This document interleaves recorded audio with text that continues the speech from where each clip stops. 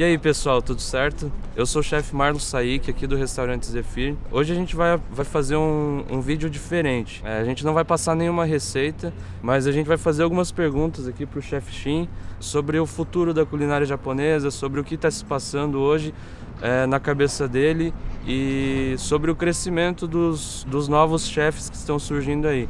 A gente está aqui também com o Daniel, é um chefe, ele ganhou a segunda colocação no, na Copa é, Brasil Best Sushi Man, então é um cara muito especial para mim também.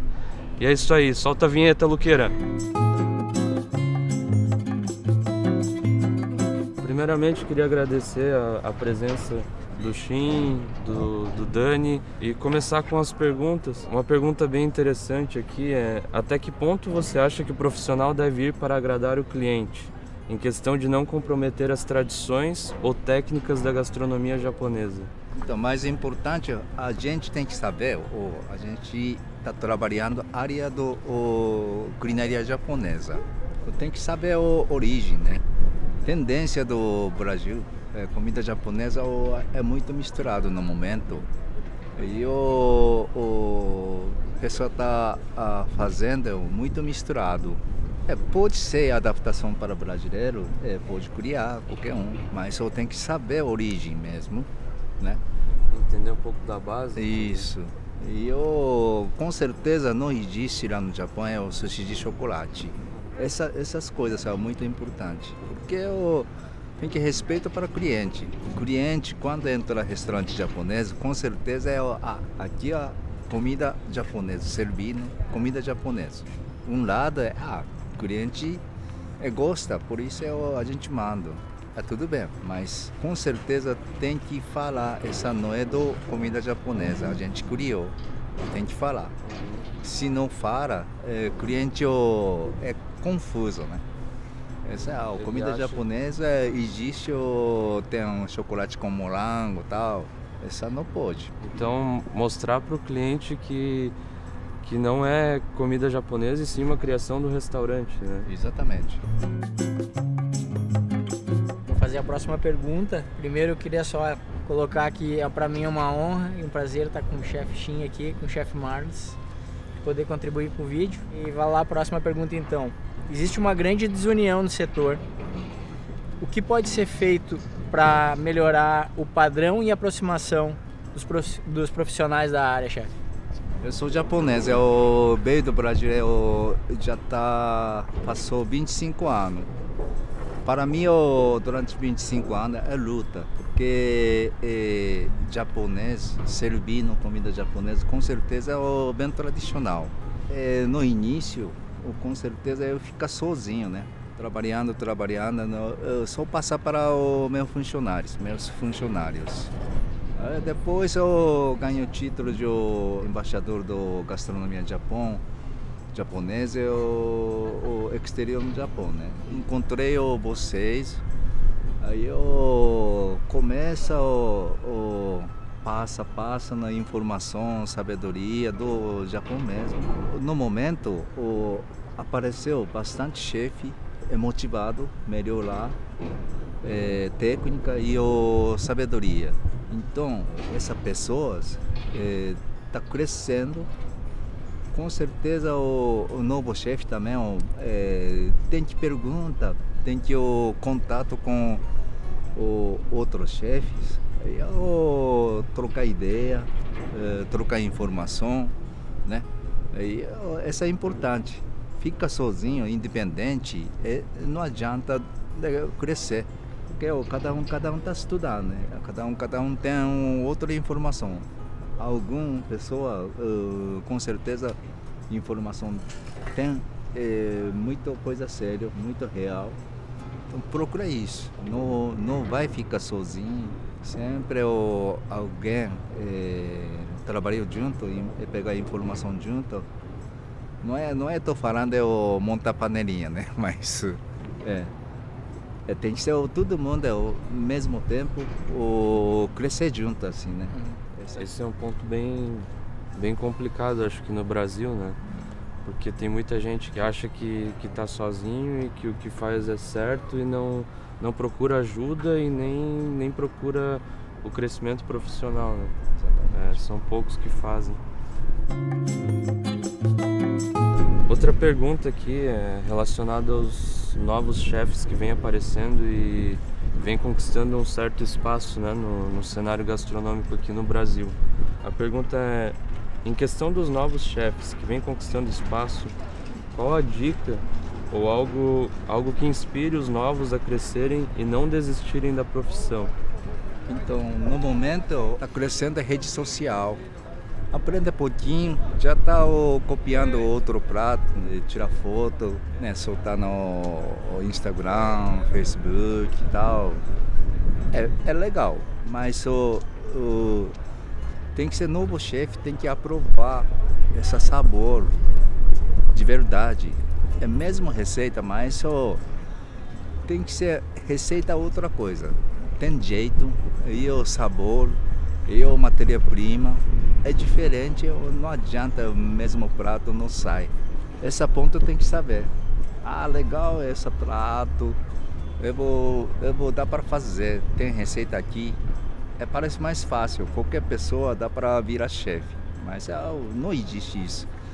Porque é, tem que saber o tratamento de peixe, tem que fazer como é que vai fazer melhor arroz, melhor tempero de sushi, né? Essa tem que saber primeiro. Depois, ó, criação, não tem problema. Mas uh, exatamente você copiar o, chef, outro chefe, ficou legal, prato bonito tal. Não é isso. Tem que ser o bonito, é com certeza. Mas tem sabor de peixe, tem sabor do arroz, tem harmonização do matéria-prima com o é, arroz, né? Vai comer todo dia, todo dia provar. Cada peixe é diferente, situação. Não é sempre igual. Hoje veio o atum é bom, amanhã não bom. Né? Salmão aparecendo hoje, amanhã é diferente. Tem que saber essa diferença. Aí vocês sabem mexer essa ajuste do diferença do matéria-prima. Essas coisas são muito importantes. Não é resultado do foto bonito. Não é isso. É saber equilibrar os sabores e, e entender o prato, né? Não só reproduzir ele, né? Isso, exatamente. Que acaba reproduzindo de uma forma que pode ah. ser errada ou pode não, não ter o mesmo sabor que deveria ter, né? Pode pegar a ideia, mas só tem que comer. Tem que ter, é, tem que, ter fundamento, né? Isso. Pelo que eu entendi, tem que ter o saber a, a, o início do, do, do, pensamento de quem criou aquele prato uhum. e aí para Imagina o, se o chefe não tem paladar, sair prato como?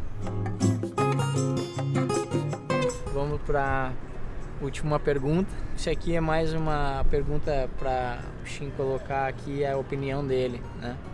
Como você enxerga a reação do público brasileiro com o que está acontecendo com a culinária japonesa atual? Até agora, eu estou acompanhando o crescimento do mercado gastronomia japonesa é, durante 25 anos. Primeiro 10 anos é, ainda está muito pequeno o mercado eu, depois passa 10 anos, o brasileiro está começando a consumir o é, peixe cru. Eu começa a ficar bombando no mercado, né?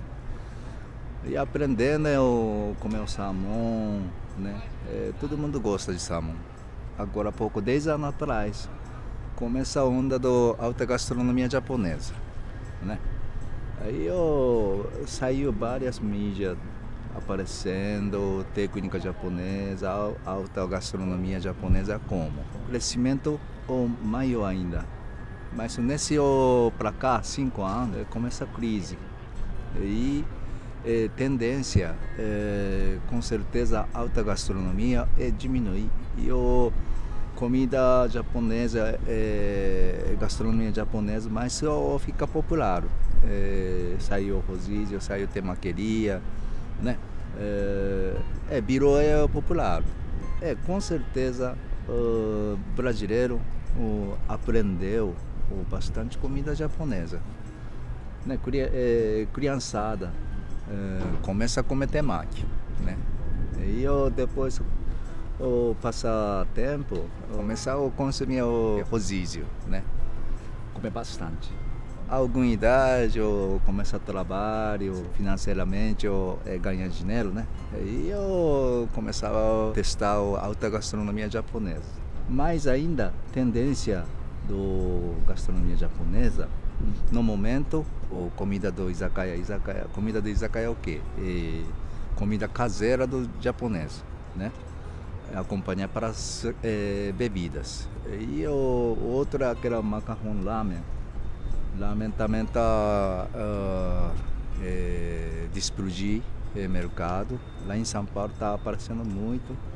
Então, no momento, apareceu comida japonesa é variado, né?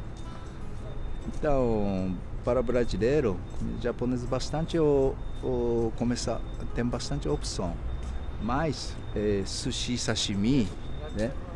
Esse é o, o com certeza uh, dentro do mercado restaurante japonês é, é bastante o volume.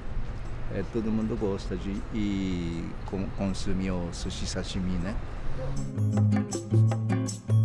Então, para finalizar uh, esse vídeo do canal, eu queria agradecer ao chefe Shin, ao chefe Dani ali também. Eu e Dani a gente pensou em, em, em algum presente para dar pro, pro senhor em questão de, de toda ajuda que tu dá para todos os chefes é, do Brasil, não em questão só do canal, né, Daniel? É mais, acho que nacional, porque é, você sempre abre as informações para gente, você sempre tem um carinho muito especial por nós e sempre está ajudando, né?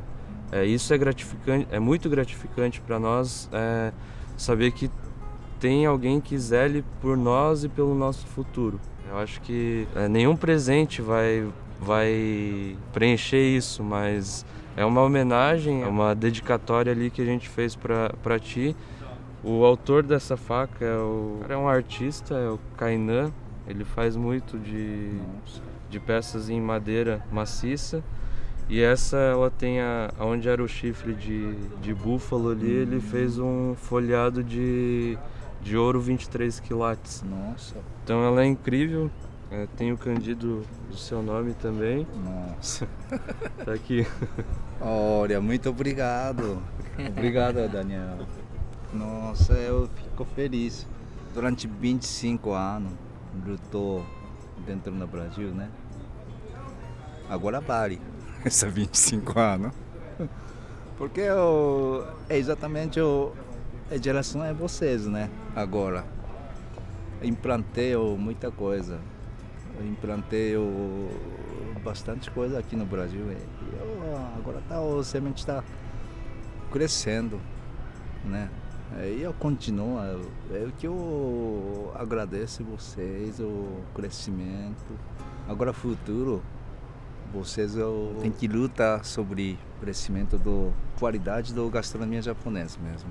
Nós agradecemos é. né, a presença e, e toda essa dedicação de 25 anos. Acho que falando por nós, assim, a gente vai estar tá sempre lutando e sempre tentando melhorar o seu legado, né? O que você deixou pra gente aí é, eu acho que é de, de extrema importância para nós aí. Profissional nasceu profissional, até morrer profissional. Para finalizar, a última pergunta é, é, relacionada às pessoas que querem começar na cozinha, começar a, a entender esse mundo. É, qual a dica que, que você dá para essas pessoas que, que não estão na cozinha, mas querem de alguma forma começar a trabalhar com. Primeiro é importante, você vai gostar nessa área se não gostar, se não ama nessa área, não consigo continuar, porque trabalho é duro. Tem que ser o amor para a gastronomia. Isso é muito importante. E eu tenho que acreditar o seu crescimento futuro, né? Isso aqui é muito importante. Aí o nosso gastronomia japonesa é meio complicado, mas é profundidade é muito grande. Cada dia, cada dia acha novidade, né? Queria, eu queria agradecer ao, ao Marlos e ao chefe Shin. É, desde que a gente teve os primeiros contatos, isso fazem alguns anos, eu posso é, testemunhar que a evolução do, do meu trabalho pessoal evoluiu muito, né? É, eu não sou, não sou descendente, não tive é, mestre descendente, então minha base foi lutada, buscando livro e outros profissionais. E esses últimos anos que a gente vem se falando realmente foram muito válidos. E tudo isso contando com a força e, e ajuda de, desse pessoal todo, do chefe Shin. Pessoalmente, para mim, quem acompanha alguma coisa do meu trabalho, com certeza conseguiu enxergar. Então, é, é o testemunho de que para isso acontecer, precisa correr atrás, precisa se informar, precisa conhecer a cultura, precisa saber realmente da base para conseguir fazer um trabalho bacana. Pessoal, para finalizar então, a gente vai deixar o Insta do Kainan para vocês acompanharem a arte dele, que é incrível. O Insta do Daniel, do restaurante, do, do Zefir também. É, eu vou colocar embaixo também a, toda a descrição do chefe Shin, é, o embaixador da difusão da culinária japonesa no Brasil, então é uma pessoa muito importante para nós da área. Se puder, dá uma acompanhada aí no trabalho dele, no que, no que ele fez e o que ele faz para melhorar toda a culinária aí. Beleza? Obrigado, um abraço e até a próxima.